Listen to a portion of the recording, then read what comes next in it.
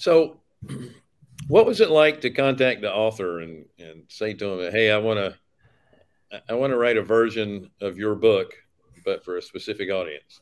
So, I'll just I'll give all my secrets away. I know if there's someone I want to be around that they've already got some mastermind or something that they're a part of and how can I provide value to them?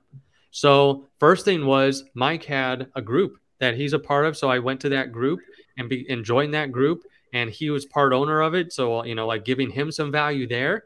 Sure. Then I went to him about a year into it and said, Hey, we're implementing this and seeing that it's actually working too.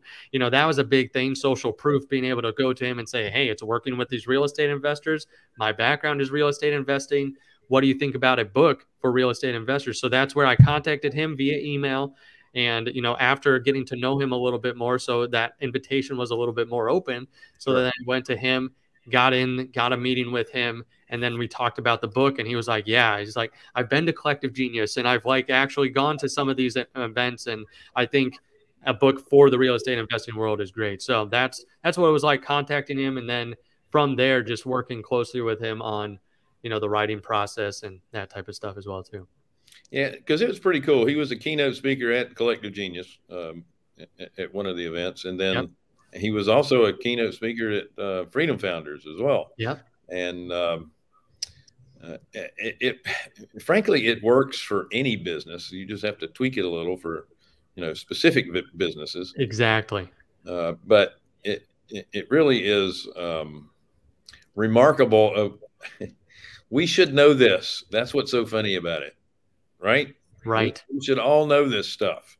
It makes sense but it, as entrepreneurs we we tend to not think that way. We we're just moving forward and we're especially at the beginning we're we're just trying to stay afloat.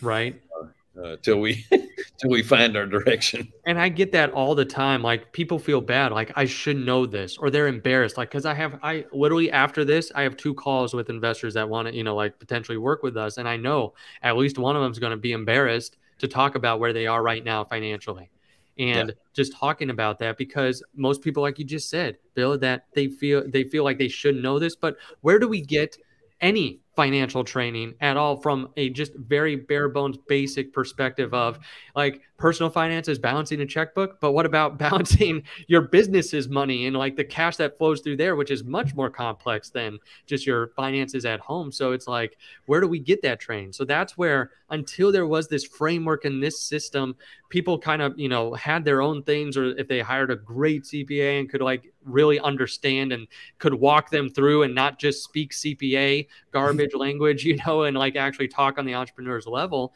then you know of where they're coming from instead of just their jargon then there wasn't that system so i always tell people don't feel bad like where you are but now there's a system out there that can help you like that talks about sales and expenses, not not, not profit and loss balance sheet, not like crazy terms or like things that you might want to, um, you know, that you might shut down from a CPA.